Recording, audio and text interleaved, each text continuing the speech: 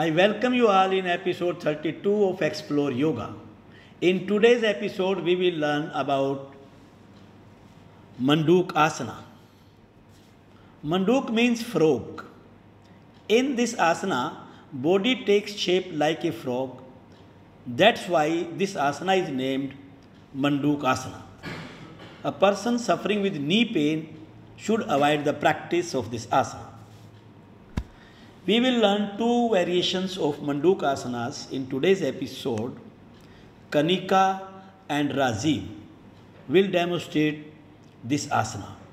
Sit in Vajrasana, keeping the knees together and place both the hands on the knees.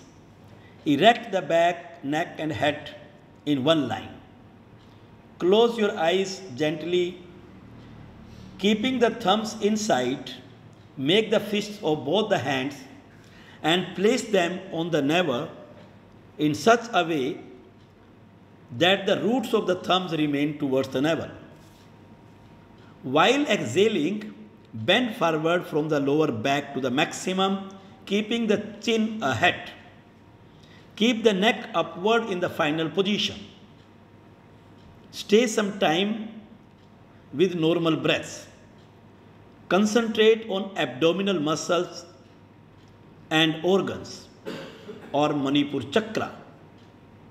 While inhaling, return to the prior position and take rest for a few seconds before you repeat the second variation. Now make the cup of the left palm and place the left hand on the navel and right palm on the left hand.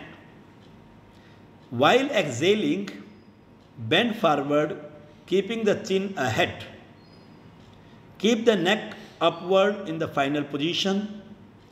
Stay with normal breaths and concentrate navel region or Manipur chakra. While inhaling, return to the starting position and relax.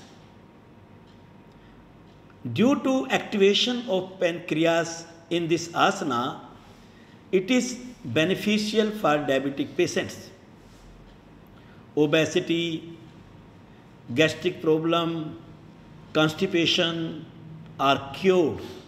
Navel disorders are set right due to pressure on the navel region. This asana is helpful to cure liver and intestine disorders. Even this asana is excellent to remove the obesity of the abdominal region. Today we have learned about Mandukasana. In the next episode, we will learn more new asanas. Do yoga regularly under the supervision of some yoga expert and be healthy. Share this video to the maximum to become the part of this noble work.